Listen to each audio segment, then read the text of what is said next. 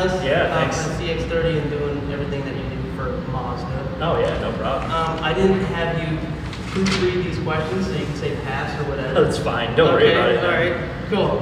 What is your favorite thing about the CX-30? Uh, so most of it is the interior space. Uh, I think they did a good job in terms of relative to the segment. When you look at like C-HR, HR-V, like the Trax and the EcoSport, things like that, and you get in here, it's like a totally different class. Okay. Um, it's super quiet and it's super comfortable and everything's very intuitive. Um, I think the only thing that certain people would complain about maybe is size. It doesn't feel big because of the way they try to make it fitted. So if you're coming from like a bigger car or something with a lot of glass, it still feels like smaller even though it really isn't. But you're coming from a CX-3, it's gonna feel. Oh my god, it's gonna feel huge. Yeah. It's, it feels way bigger than the Mazda 3 though. How do you think this will turn out for Mazda? I can't predict that. I mean, if they're right about this segment being so hot, given the price point, because like this is more of the base with all-wheel drive. But it's a really. It's really nice. I, Yeah. I mean, at 24 grand, I can see a lot of people doing it. I don't know how many, like once they're out longer, what the discounts will be, but uh, I think it'll do well. Speaking of which, did you get a replacement for the Civic? Not yet. Not yet. I'm okay. trying to figure that out. Nice. Alright, I'm trying to keep this as professional No, you're good. No, you're good.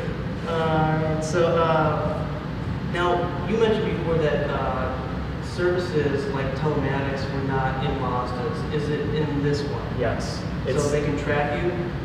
Technically, they could if they wanted to, because it's tied into GPS, obviously cell tower geolocation and stuff like that. Um, I haven't asked them specifically what their their data logging, but they could technically. Okay, okay. When you were out with press and testing, you were out in California. Yeah. So were there any mishaps or malfunctions during testing or driving? Not in the group that I was in. It was really solid. Uh, there were no issues.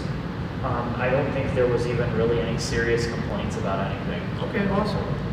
And I think that there wasn't like even the, the other people on the media that I talked to, there wasn't really. I mean, it was just the same complaints you hear about every car. Certain people don't like info, the infotainment. They don't like that it's not a touch screen. They don't like how it's so simple, or they don't like, you know, it's all these like little nitpicky things that you, you can really uh, copy and paste on any car. Yeah. So, but yeah, no no no mechanical issues, no no problem. So Good.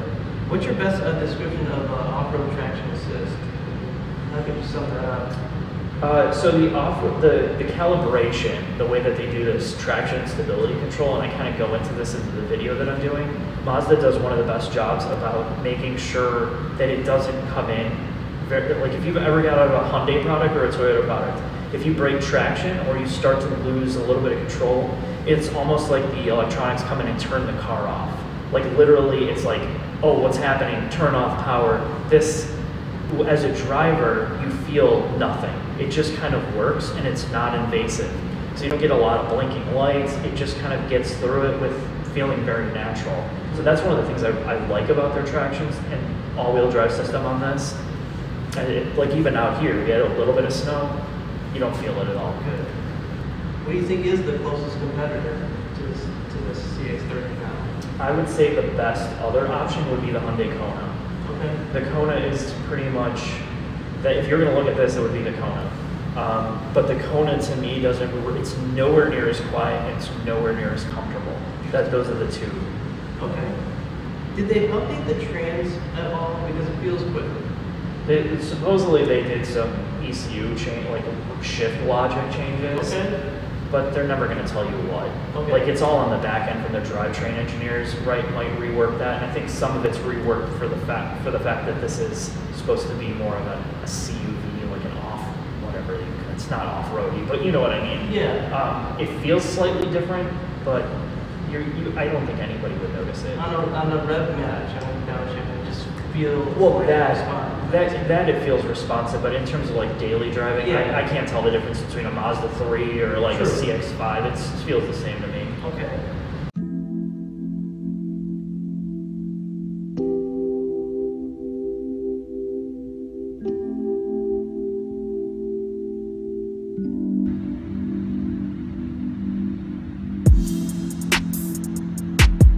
Are you working on any Yeah, the so the next week you're gonna see a documentary on the Mazda Miata. I was wondering if you were going to mention that. That is exciting. Yeah, it's five videos, five days. Well, technically it's six videos, but five days in a row of every generation Miata. That's going to be awesome. Yeah, that should be fun.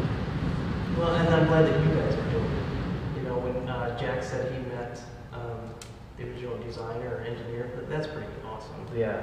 That's a milestone in your career. Well, yeah, hopefully, and a lot of the guys that were involved in the projects were kind of like weird at first because it's strange, right? But Yeah. once you once they got talking about the car and like the history and all the nostalgia, they were really excited about being a part of it because I guess legacy wise, right? If you're a car designer or a car builder, most companies don't have something that is like historic, right? Yes. You- Like most of the cars that are out there, nobody even's going to think about in 20 years or 30 years. So Mazda has one that's very unique, and I think they're all really proud of it. Yeah, it's powerful. Yeah. That's cool. Um, speaking of talking to designers and stuff like that, do you have actually have Dave Coleman's phone number? I have his email. I don't have his cell phone. Okay, just checking.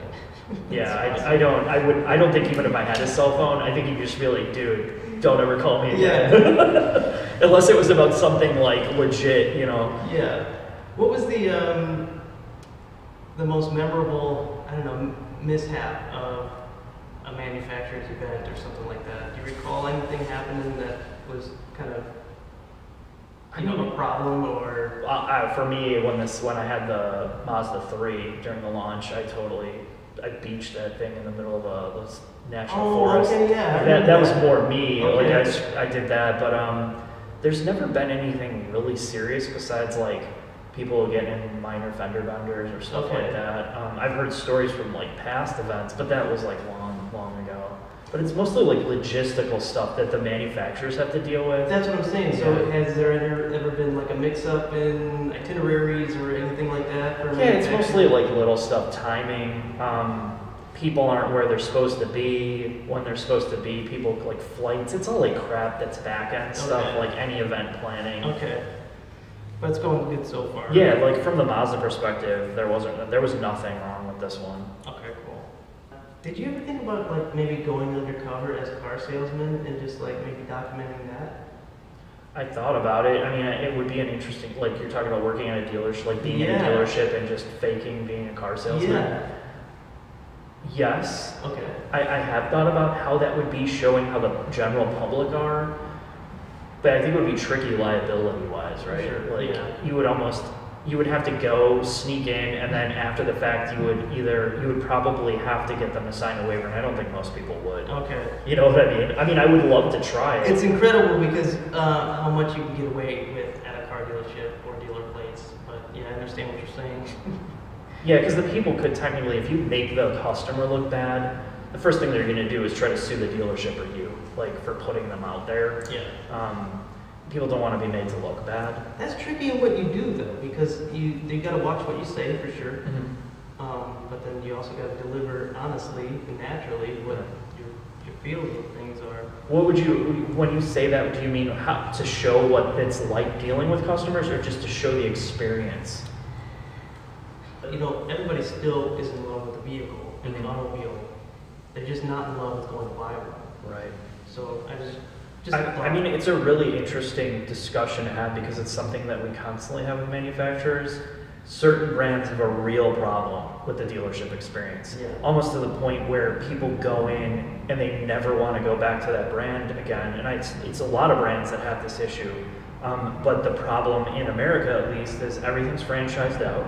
The, the manufacturers only have so much control because that's the way the system's set up.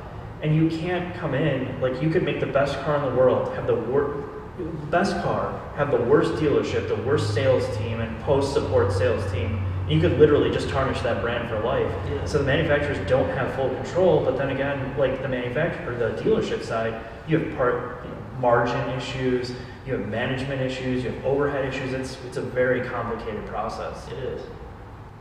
If you remember not so long ago when the Mazda 3 launched, and the publications or the journalists didn't really, they kind of beat it up as far as like ride comfort or we switch the suspension in the back, and they weren't a fan of it. And now if you Google any reviews of the CX-30, same chassis, but they're in love with it. Right. It's it's crazy. I don't know if you noticed that. Yeah, it, it's just the. I think, unfortunately, a lot of the publications and journalists do not look at it from what the reality is. They wanted the Mazda 3 to be this sports car hot hatch, and that is like 1% of the market, True. and it's the most vocal 1% of the market. Um, it's not that I don't disagree with some of it. I feel like Mazda should have some performance hatch, but that's not their direction, and they were very clear about it not being their direction. That doesn't mean that the Mazda 3 is a bad car. It's just they are not going down the performance air, arena with it at this point for money, for development costs. There's a whole bunch of reasons, and I understand that. That doesn't mean that I like it, but that doesn't mean the Mazda 3 is a bad car. This is the same thing. It's just softer, more compliant, and it's still a good car. Um, but again, it's it's what's here. What are your your preconceived notions of a product can really have a, a dict. It can really dictate how you objectively or subjectively view it. And I think a lot of people just expected the Mazda 3 to be something else. They saw that they were taking out independent rear suspension. They and they immediately discounted it. Fantastic. Yeah. All right. Will you be hiring any more crew for your uh, for your adventures? Not in the near future. Not in the near future. No, I, I will be eventually, but not right now. That's good.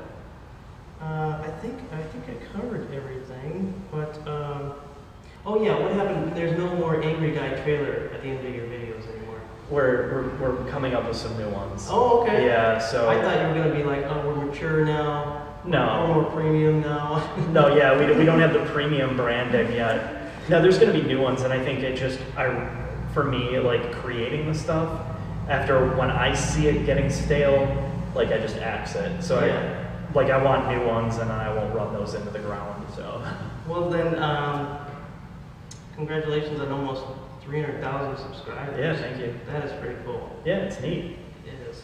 Um, and I thank you for all the fun that we've had with the camera that you provided us. Yeah. Um, I put it to work a lot and make some awesome projects. And Good. Ones that make us laugh, ones that make us cry, and ones that document artists who need to be seen. And Cool. So it's it's a pleasure to do business with you. Yeah, thanks, man. I appreciate it. You, so Yeah, if you're watching this, probably you know James here has been here for quite a long time, and he's so honest, like just ni- just a genuinely nice person. So Thank like you. I would anybody that's local, and there's some people I don't send you because I know they're a nightmare. if you're a good person and you want to buy a car, And you know, you're here on Mark's behalf. I thank you very much for subscribing. So, Yeah. uh, until we see each other again, have a great Yeah, time. thanks, man. I appreciate thanks it. again for joining us. yeah, thanks for helping me out with some of this stuff. It's great. Awesome. Thank you, guys.